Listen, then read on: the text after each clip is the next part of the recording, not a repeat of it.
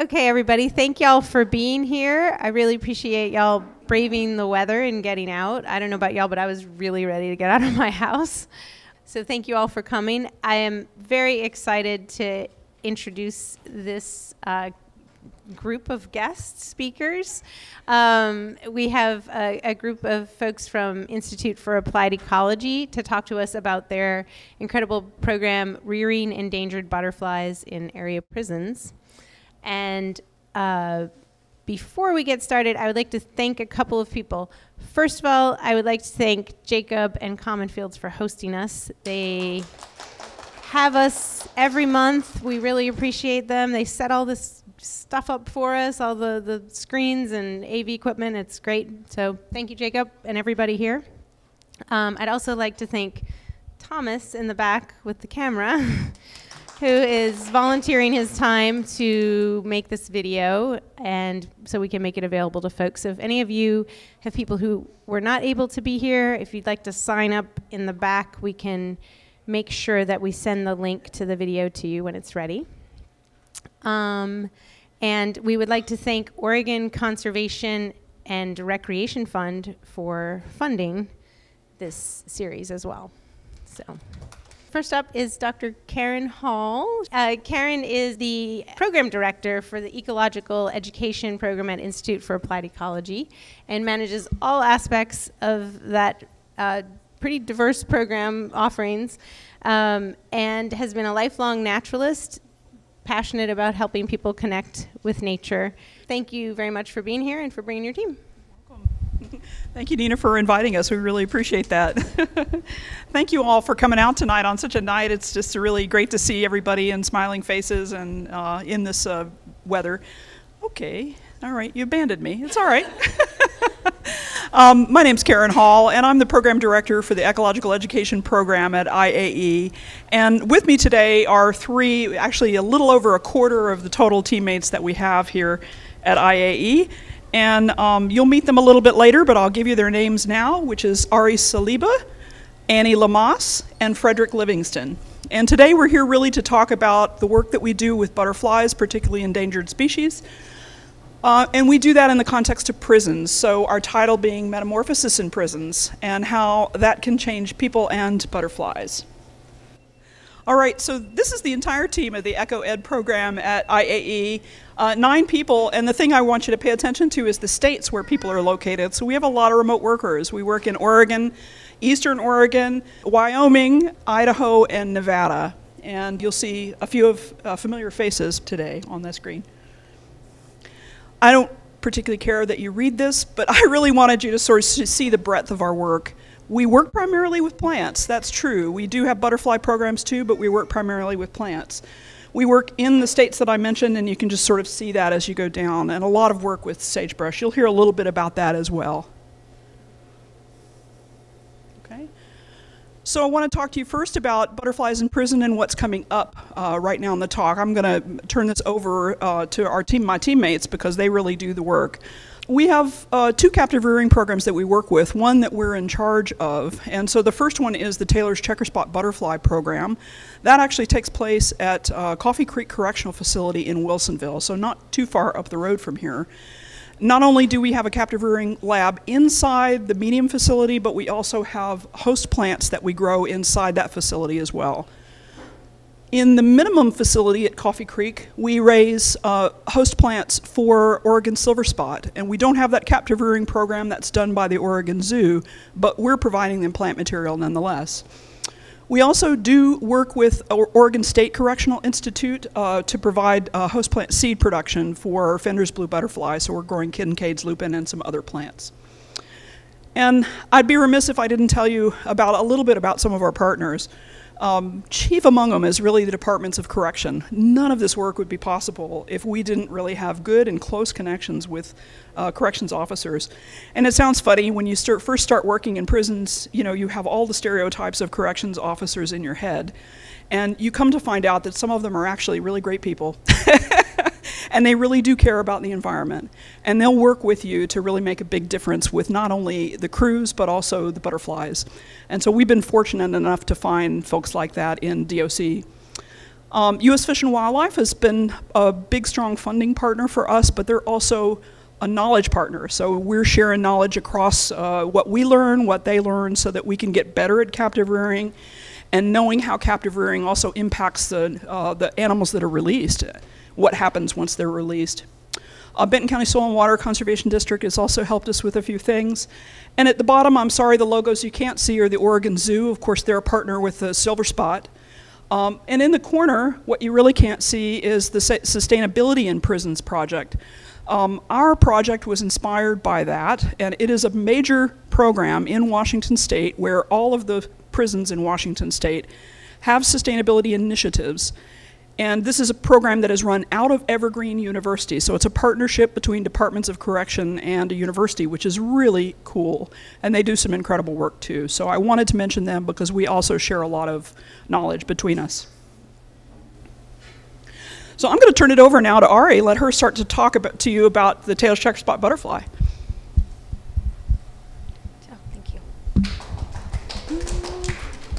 All right. Hi, everyone. My name is Ari. I am uh, kind of the point person for uh, the Taylor's Checker Spot Butterfly Lab that we have at Coffee Creek Correctional Facility. Uh, before I dive too much into it, have any of you ever heard of the Taylor's Checker Spot? Yeah? Cool. Um, it's this butterfly right here. It's really gorgeous, um, and it is federally endangered, which is why we have this uh, larva rearing lab. Um, and it is at Coffee Creek, as I mentioned, which is a women's facility. Uh, we have about seven lab techs, and they do everything from uh, getting the eggs of this butterfly um, and bringing it into pupation. And in total, this butterfly has about 13 total populations, and that ranges from um, BC, Vancouver, that area, uh, and then into Washington and Oregon. Historically, Corvallis has had some of the most ro uh, robust populations, but um, their populations are decreasing, which is why the work we do is so important. The lab started in 2018, and since then we have raised over 10,000 larvae, which is really cool. Um, one thing about this butterfly as to why its population has been decreasing is mostly due to its host plant decreasing, and that's largely due to habitat loss. Um, the host plant was originally harsh paintbrush or Indian paintbrush, which, if you haven't seen it, it's this really gorgeous flower. It's kind of red and orange. Um, it's really stunning, but because of habitat loss, that host plant has uh, been disappearing, and therefore the butterfly has been uh, losing its populations as well. The really unique thing about this butterfly, though, is it's actually been able to adapt, and it's um, found a new host plant, which is English plantain, which is not a native here, but these butterflies have found a way to utilize it. So the Indian paintbrush and also um, the yellow paintbrush, they've all been drastically declining because they tend to like to grow in open prairies um, and oak savannas. And that habitat in particular has been really heavily impacted um, by urban growth and just uh, human activity. So with that declining um, habitat, we've been losing a lot of those plants they typically rely on. And they do have a few other host plants, such as sea blush, but it's not as common, uh, which is why they've adapted to the English plantain. Yeah, but you're, you're right that the paintbrush is hemiparasitic, so it like takes the nitrogen from other plants that it lives on, and it can get that from various different plants in the area. Oh, so it doesn't, it's not? It's not as specific. The butterfly is much more specific to the host plant, but then the host plant, sure, it sort of becomes this like stacking doll kind of situation where then the host plant requires a different host plant to get its nitrogen. Um, and I think it's sort of just broadly that ecosystem is declining. And that's why we grow plantains. It's much easier to grow weed than this like delicate native that requires a host plant. Because you can't just grow paintbrush. You have to grow paintbrush on top of Oregon sunshine or something else. Yeah. Whoops. Um, well, this arranged itself on its own, but um, Uh, but this is the order. It is cyclical, so you know what came first, the butterfly or the egg. Um, but this image here, these are the new eggs. They're very fresh and yellow. And then as they develop, they swell. They turn kind of this reddish color. And then at the end, they turn almost black. And that photo there is the new larva coming out. And then after this, they grow and sleep a lot, and they actually molt into what we call instars. They grow and molt and grow and molt. Um, but in between that time, they sleep a lot. Um, I think people tend to think when they wake up they're super active, and they do eat a lot when they wake up, but they also sleep a lot. So um, they kind of wake up, eat, go back to sleep, and then they continue to grow. Um, and then once they get to be about this size, they'll go into their little little pupate. Um, and then we have here an enclosed butterfly. So it has uh, come out of its chrysalis. It's a nice butterfly. In this picture in specific, they have it in the lab in a little petri dish type thing. Um, and then the next step in the lab is they will take adult butterflies and then they will put them in an enclosed plantain plant, which um, the one we passed around is an example of what that looks like. They coat it in a type of fabric so that it can't escape. And then they will lay eggs on that plantain. So in that photo, that little yellow bit under the butterfly, that's it laying eggs. Um, you might have noticed that the plant we passed around has rocks on the bottom. Does anyone have any guesses as to why they might put rocks on the bottom of the plant? Um, they do that because the eggs are so tiny, and when they're first hatched, they're very soft. And if they were to have it on soil, they wouldn't be able to pick them up as easily. Um, the way these women pick up the eggs is actually with a tiny paintbrush, and they paint them off of the leaves. So if they were to do that and they were to fall on soil, it would be really easy for the eggs to get lost. So that's why they um, put rocks on the bottom. So in this slide, um, the photo, what is that to your right? We have uh, one of our lab techs, and she's looking at some of the eggs under a microscope. And this is really common work that they do in the lab. These women are amazing. Um, they know this species really well, so um, this is part of routine work that they do. And you'll notice to the side of our lab tech, there is a plant, that is the English plantain, which is something we grow on site at Coffee Creek. And I'm gonna hand it over to Annie to talk a little bit more about the plantain program. Thank you, Ari. Oh, thank you. Um, so yeah, what you can see in this photo um, behind this one actually is what the Plantago yard used to look like. And so inside the medium facility at Coffee Creek, um, the women are growing English plantain right in the ground. Um, so behind this photo, they used to be grown in rows, and I'm sure, as most of you know, monoculture doesn't always do very well thanks to pests and other diseases that are uh, susceptible and monocrops usually hit pretty hard. And so, what we've done this year and what the women have ultimately done is they've redesigned the yard into this kind of keyhole design that you see here. Um, so, the purpose behind this was we'd increase the growing area um, and we implemented intercropping into the new growing space to kind of simulate the naturalized environment that Plantago would normally grow in in the wild. Um, as we know, it's a weed or a non native, and it's fairly easy to grow. It pops up in our garden. I'm sure some of you notice it in your yard, and it's not the most wanted or friendly plant, um, but it's not the most harmful weed either. I know there's some really gnarly ones out there. Um, but Plantago, growing it as a crop is fairly easy. Um, so, what the program looks like on the inside is the women um, they take care of it. They water the plants, they fertilize the yard, um, and they harvest the leaves. That's their big job throughout the year. So their season starts in about February when the larvae wake up. Um, and so they'll go out into the yard and they'll collect leaves regardless of the condition. Last year, uh, from the growing season, which started in end of February, uh, beginning of March until about July or August, uh, the women collected over 36,000 leaves for the butterflies. Um, so they're, they're some hungry creatures for sure. And um, we have about six women on that crew, um, and they're very dedicated to the program. Um, and like Ari mentioned, um, we grow Plantago because Taylor's Checker Spot has switched its host plant from both types of paintbrushes. There's harsh paintbrush here and then golden paintbrush over there. Um, and the women just have a lot of pride in this program. Um, I meant to go, um, I don't know if I can go back. Oh, yeah, no, I can't go back. Um, but no, there's no way to go back. Um, but the women have a lot of pride in the program. Um, they feel very connected to it. A lot of the women, when they talk about getting released, they say they want to go into some kind of gardening program when they get out or have their own garden at home, um, whatever that looks like. And so they really are impacted a lot by the program that we do. Um, and on top of the Plantago program, we also have the Viola program, which I will pass off to Frederick to talk about. Yes, thank you, Andy. Yeah, some of you will touch briefly on the viola program. There's a lot of similarities with the Taylor's checker spot butterfly program, but there's a few maybe key differences. Um, this is for the Oregon silver spot, which is another rare butterfly. It's only in a few populations, sort of in the coast range in Oregon. Um, and we grow Viola adunca, which is this early blue violet here. Um, we, they harvest the leaves, and then they, unlike in the um, medium facility, they're harvesting the leaves, putting them in containers, and then the Oregon Zoo comes and picks them up because the lab where they're being reared is at the Oregon Zoo. So it's a little bit different, um, but the basic premise is the same. Uh, last year we got over 200 cups of leaves, which maybe doesn't sound like a crazy monumental feat, but um, the leaves are like smaller than dimes, and it takes hours of like bending over these little pots to pick off one leaf at a time and fill them. Um, so it's quite a lot of labor over the course of the season.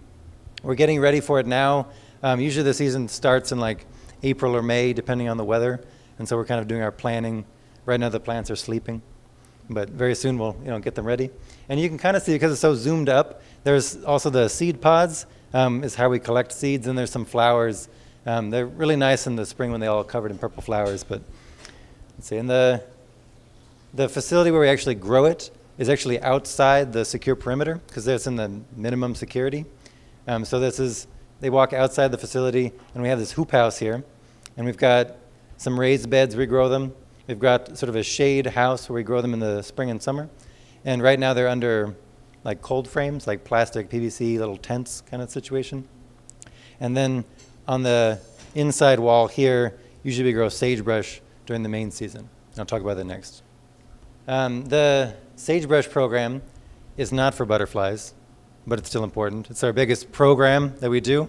Um, this is for the greater sage grouse, which is sort of the poster child or the charismatic fauna that we target. But there are, I think, 350 sagebrush obligate species that rely on sagebrush. The grouse relies on sagebrush for like eating the leaves in the spring and like nesting under them and every part of its life cycle. And we grow them at, I think, yeah, nine different sites in five different states, so kind of all over the West, in areas that generally the sagebrush grow. Um, and Coffee Creek, where we go, where the butterfly program is, we grow like 10,000 sagebrush, which is our smallest program. Some of the sites grow 100,000. So it varies in scale. Um, Coffee Creek, we're focused more on the butterflies, but we need to mention this one too because it is our largest program in terms of numbers. Um, and in total, we've done like 3 million plugs from sagebrush, and those go out into the landscape into areas that maybe were burned in a wildfire or were converted into agricultural land or a mine that was abandoned. And so we're providing the plugs that then get put out with our BLM partners, as opposed to the butterfly program where we're feeding the leaf material on site. So it's kind of a different cycle, um, but it's cool that we can give the crews an opportunity to interact with a lot of different species to make it more interesting. Um, yeah, and you wanted, and then Annie was going to talk about the beautiful map that she made to show you sort of visual geographic extent. Yeah, so this beautiful map that uh, Frederick mentioned is just kind of a visual so you all can see where our work kind of stretches. And so Karen mentioned in the beginning we have folks in Nevada, Idaho, Wyoming, uh, one site in California, and then in Oregon. And so the map here that you're seeing shows the historic and the current range of greater sage grouse. And the darker brownish color that you see in the back is the historic greater sage grouse range, and the yellowish orange color is the current range. And from what you can see, um, its range has shrunken by about half. And so it's really important the work that we do to uh, restore the land that the greater sage grouse needs. Like Frederick said, it's a sagebrush obligate species, and so targeting sagebrush in these areas is really important to restore the land and improve the species. And like Frederick said, here's the numbers for the year, the program started in 2014 and we started with 20,000 sagebrush, but we fluctuated in numbers somewhere between 300 to 500,000 plugs are grown per year to reach our grand total thus far of over 3.4 million sagebrush. Um, and so we want to highlight one more uh, element of our ecological education program by talking about Oh, we're going into, yeah, you did. so Karen's going to talk about some of our success stories. I always have to put a kicker in there. So um, this year we were really lucky. We got called by a lot of national press folks for work. So we've got a really interesting video that's coming, that is already out, that was done by Wyoming NPR. And it wasn't just a one-shot video. Actually, they came for an entire season. So they filmed the entire process from uh, adults in custody are out collecting seeds, sowing the seeds, growing the seeds, boxing the seeds, and then planting the plants out. It took a whole year for all that to happen, but it's a really wonderful video. Uh, we were on Yale Climate Connections and also uh, the Weather Channel, which was a real uh, fun surprise, uh, and a couple others. And I just wanted to highlight that. Local press we get somewhat regularly because we do a lot of local things. Uh, this is just an article from Lakeview where we did a project uh, growing sagebrush not only with the adults in custody in the Warner Creek prison, but we also, the students in high school in Lakeview grew plants as well.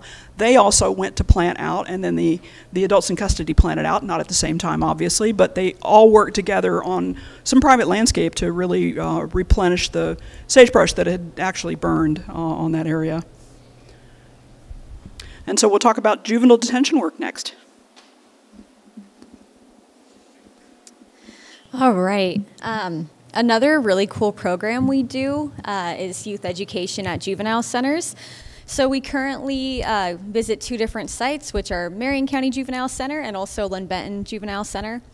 Um, and we go here every other week. And this work we do, we find really valuable because for a lot of these students, it's their first time having a nature connection. Um, and they haven't necessarily been successful at traditional schooling. So by providing them alternative education that really focuses on the environment, um, we see a lot of excitement from them and a lot of curiosity stem from our lessons. Some examples are um, climate change, animal adaptation, soil ID, uh, botany, Silent Flyers, Skulls and Skins, Plate Tectonics, Cascadia Bingo. We do all sorts of fun lessons and we try to switch it up pretty often. And we usually leave having kids tell us that uh, it's their favorite thing they've experienced in a long time or um, that they just want to keep learning more. So that feels really amazing and uh, we love doing this kind of work. In this photo, you'll see Annie doing some birding at Linn-Benton. Um, and then in the corner here, we have a Mason Bee Hotel that the students got to make.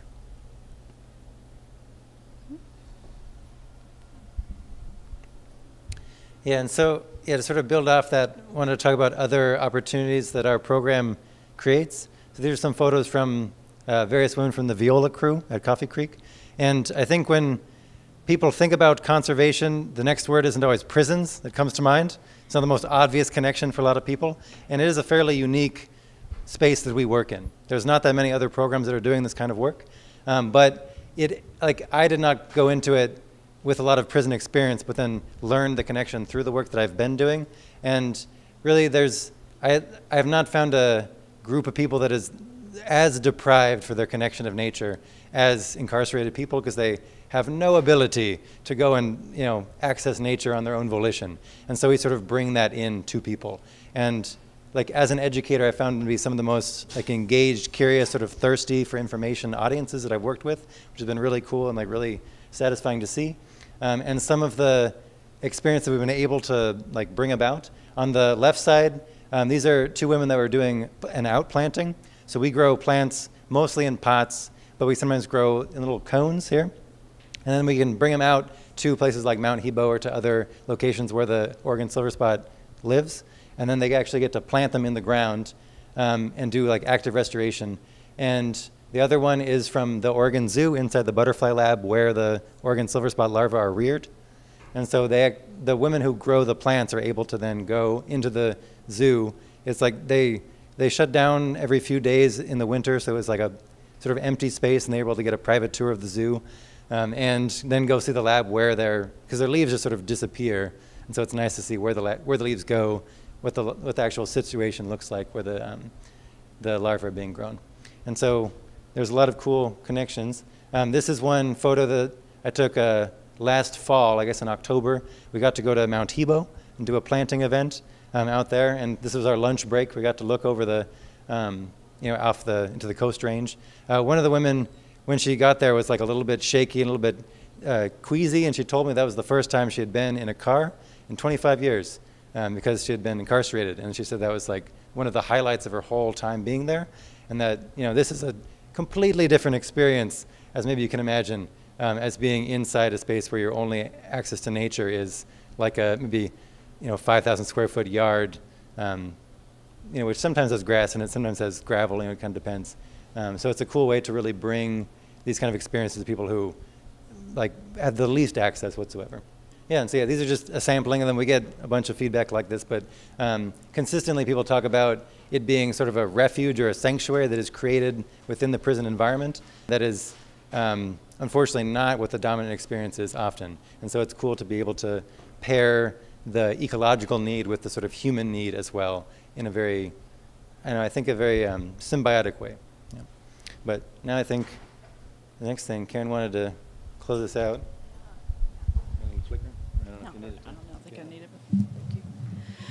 Well, thank you all for coming today. I, I really uh, forgot to say at the very start to just interject and ask some questions, but we're here at the end, and I think uh, I, what I'd like to do is, is wrap up and then and then give you all plenty of time to ask questions.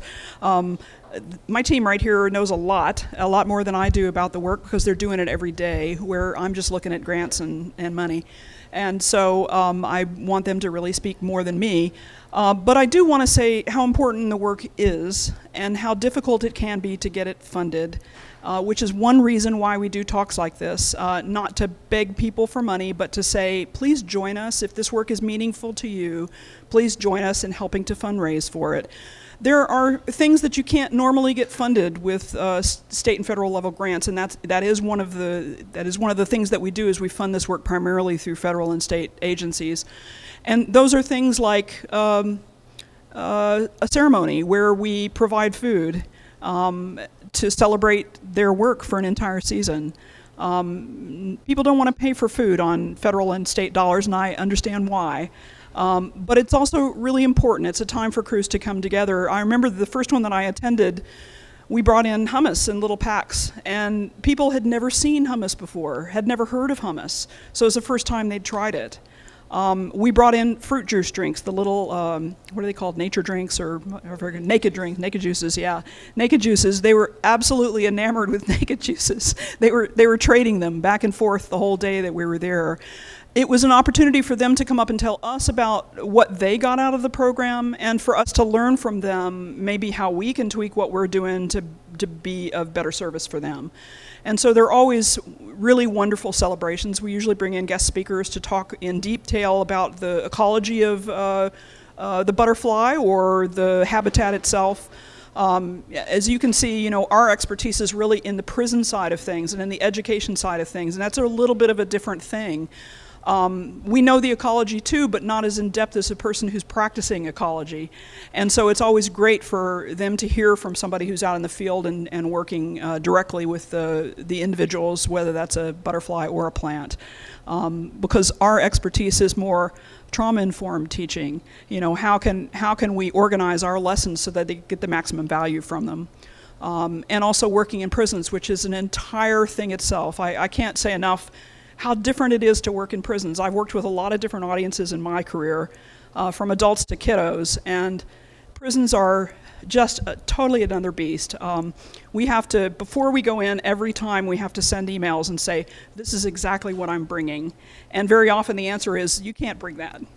Uh, and it's silly things. We wanted one year to bring in paper so that we could fold up origami trees, uh, right? And they wouldn't allow that. Now they will allow us to bring in paper lessons, but not paper for origami trees. So some of these things are really uh, inexplicable, and we don't understand the reasons and the safety safety protocols that they have in place. We just have to trust them and follow them. Um, but it's just a real different environment, and you have to adapt uh, continually. Uh, you might show up and your crew is not there. And so you might end up waiting an hour for their crew because the prison scheduled something and didn't let you know. So it's just a really challenging environment. But I don't think there's a single staff member that I have that doesn't really believe in the work and really find it super fulfilling. So I'm really proud to be leading such a team. Uh, find myself in that position. So thank you for listening to us tonight. But why don't you guys join me so I feel sure everybody has questions.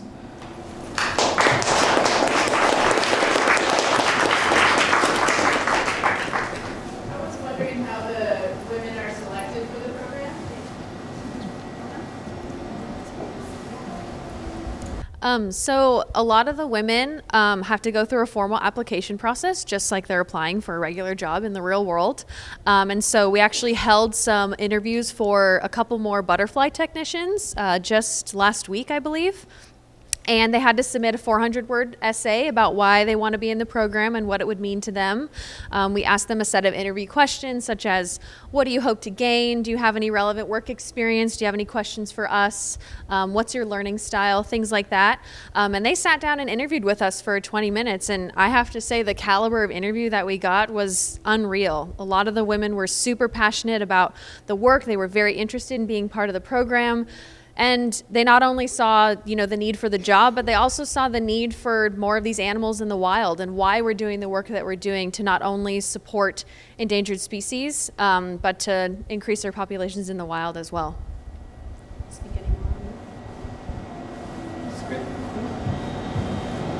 I was, I was wondering if the women um, you work with uh, work on all three of the programs, or are they like kind of separate with separate workforces? You look like you want to. Sure, yeah. Yeah, no, they, they are separate. Um, partly because of just the physical infrastructure of the prison. Like you can't move from medium security to minimum, um, but you can go up security. So for like a celebration, we can bring them all together. Um, but generally, they're in their own departments, and they're kind of chosen based on their skill set and interest. Because the butterfly lab is a different sort of activity, um, different skill set than like working in the yard.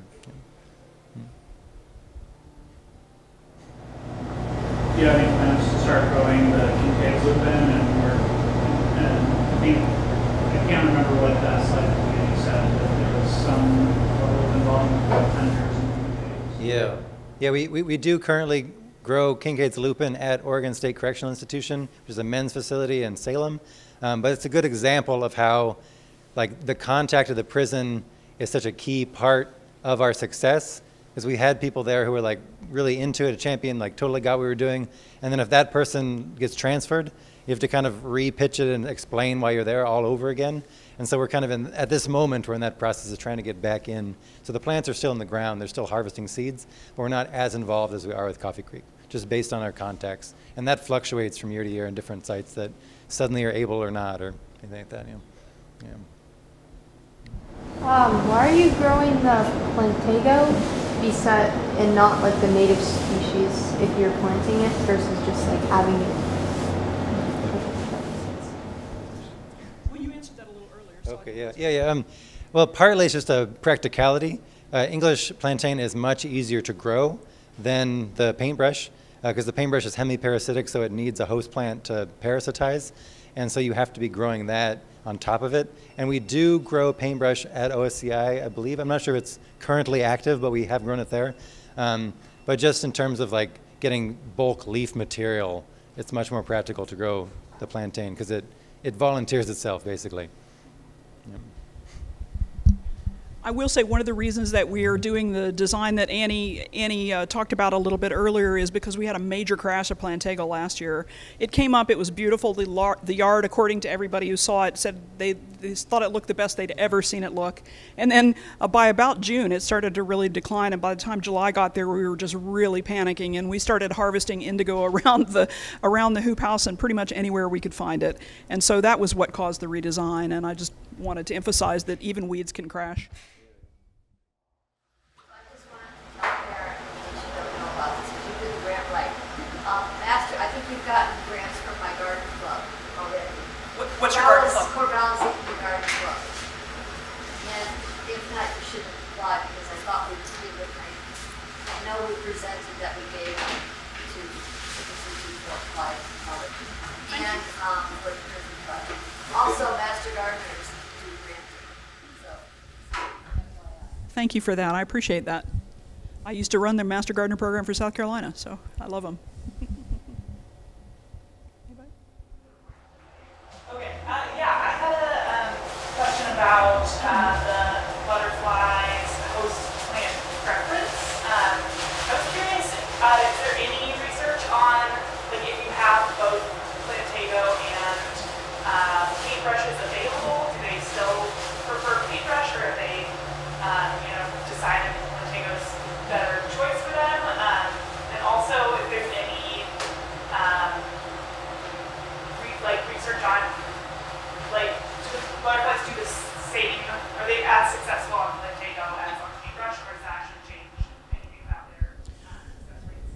Yeah, I don't know about any specific research in that vein, but what I can tell you is that the butterflies are actually after iridoid glycosides. It's a secondary metabolite that, that many plants produce, not all plants, but many plants produce. And it just so happens it's present in Plantago too. So, and that's probably why it's an alternative host plant, is because it's present there. There is some research, I think, that shows that um, they will preferentially not choose plants with high levels of uh, so if it doesn't have a high level of iridoid glycos- glycosides, they're not going to choose it. But specific ends of it, I'm not sure of it. I, I was just curious about when you first established your butterfly populations. I uh, believe it was Ari was talking about the different locations uh, along the west coast that have them from BC down to Oregon. Did y'all get butterfly or larvae? I don't, I don't know which starting the butterfly or the eggs, but but um, did you sample to, to have some genetic diversity or across the uh, range? Just curious. We don't do any of that. Um, that's done for us by U.S. Fish and Wildlife. And so what happens at uh, uh, pretty much in another month or so, we're going to be calling Fish and Wildlife, and they're going to be asking us, well, are the butterflies waking up?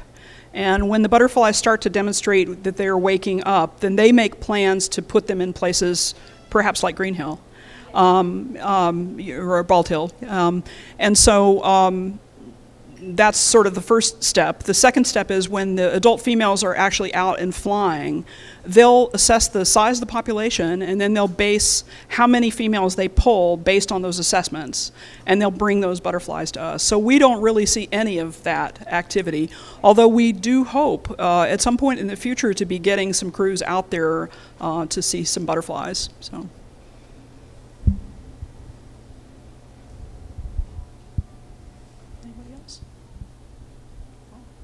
Well, thank you so much. We really appreciate you. You've been a great audience for us today, and thank you so much.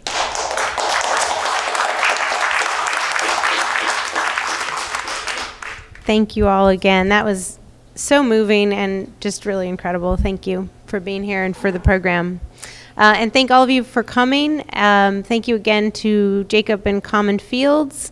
And anybody's interested, we will be back here next month on the 15th for James Cassidy to learn all about soil. If you haven't heard James speak, you need to be here. so, thank you guys.